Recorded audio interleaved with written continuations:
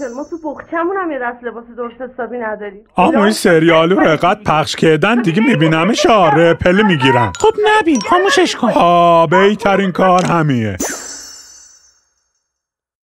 چه رو تلویزیونو قد خاکه؟ هنوز خونه تکونی نکردم. خب, خب چرا این مبلا قد کجه؟ خب پاشو صافش کن خودت.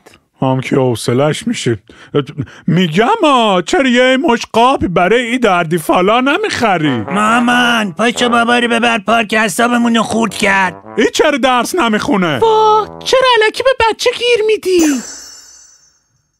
ول کن اون ظرفا رو خودم میام میشورم الان. نه عزیزم چهار که ظرف بیشتره. شم با خیال راحت از سرا. چی شد؟ مامان بیا بابا ترکی.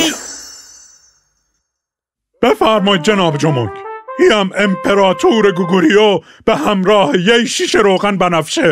خدمت شما. چین هوا جایو! ووهان جایو! میگم ها شهناز. یه سری سوالا نمیذار با خوابم. چی؟ تو چرا همیشه برو سری میخوابی؟ یعنی ما هم بچمون لکلکا آوردن؟ بخواب دیگه چرا پرهام اسم ولی پشمام اسم نی؟ یا چرا سرای نمازی چاران؟ فلکه هنگ دقیقا کجای هنگی که ما نمی‌بینیم؟ وقت گیر آوردی یا یا مثلا چی طوری میشه یه فیل با حرکت گذاشت توی یخچال؟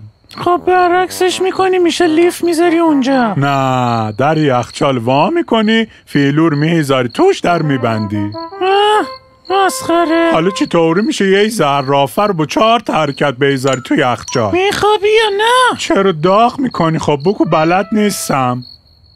در باز می‌کنی فیلور میار بیرون زرافه رو می‌ذاری توش در میبندی. حالا ای گفتی یه خر چجور می... بخواب بهت میگم.